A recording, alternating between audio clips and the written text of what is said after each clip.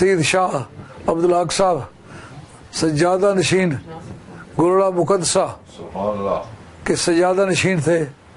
ان کا وصال ہو گیا۔ ان کے سوال کے وصال کے بعد کوئی چار پانچ مرتبہ گش کھا کے میں گرا ہوں۔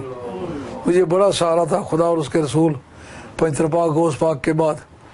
وہ آدمی بزرگ بہت محبت رکھتے تھے بہت ہمدردی کرتے تھے۔ ہر طرح کی جانی مالی قربانی کا یقین دلاتے تھے۔ ان کی وفات سے ہمارا بڑا نقصان ہوا ہے۔ اللہ تعالیٰ آپ کے صاحبزادگان کو دین اکبر ثابت قدم رکھے اور اپنے باپ دادی کی جو وراثت ہے اس کو قائم دائم رکھے۔ ماشاء اللہ صاحبزادہ معین الحق شاہ صاحب نے ان کا جنازہ بھی پڑھایا ہے۔ کئی لوگ ایسے بہلے کچیلے بھی آگ گھستے ہیں چاہتے ہیں کہ ہم جنازہ پڑھائیں۔ صاحبزادہ قطب الحق شاہ صاحب وہ بھی بڑا متصلب قسم کا سنی اور اعلی دل آدمی ہے۔ انہوں نے والد صاحب کی شب و روز خدمت بھی بڑی کی ہے۔ اور معین الحق شاہ صاحب کے صاحبزادے، میر فرید الحق صاحب، اللہ ان کو سلامت رکھے۔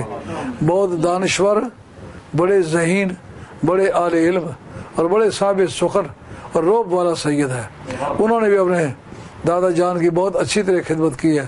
اللہ انہیں جزائے خیر دے اور اللہ تعالیٰ ان کو اپنے خاندان کی ذمہ داریوں کو سنبھالنے کی اکثر توفیق عطا فرمائے۔ اللہ میرا اور آپ کا خاتمہ سچے دین پر کرے۔